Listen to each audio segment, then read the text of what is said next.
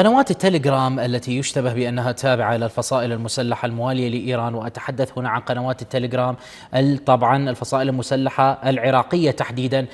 أعلنوا عن تيم الطاهرة كفريق هو يقوم بهجمات سبرانية وغيرها وأعلنوا عن هجمات سبرانية في داخل إسرائيل مؤخرا ضد مواقع موجودة في المملكة العربية السعودية. عطلوها قليلا وبعدها عادت طبيعية.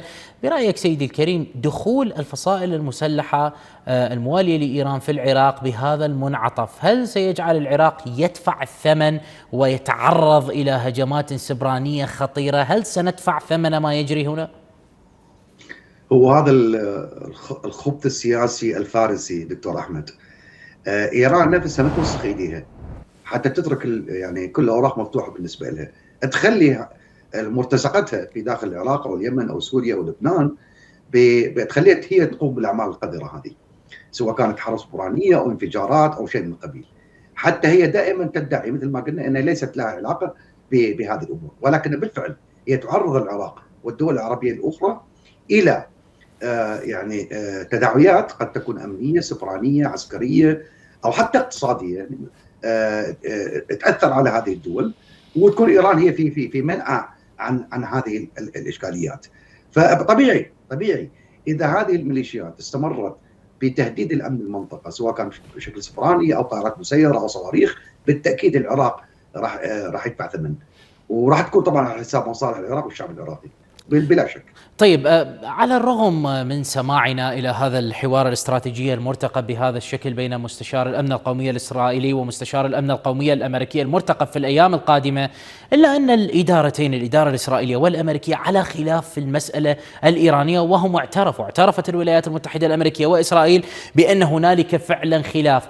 هل تعتقد بأنهم بشكل أو بآخر الآن اقتربوا من بعضهم البعض في مسألة ما يجري في إيران أم أن إسرائيل تبحث ممكن عن بعض الضمانات من الولايات المتحدة الأمريكية قبل أن تعود واشنطن إلى الاتفاقية النووية. آه، إسرائيل بشكل غير مباشر تنقل مخاوف ليس فقط إسرائيل إنما أيضا آه، دول الخليج العربي.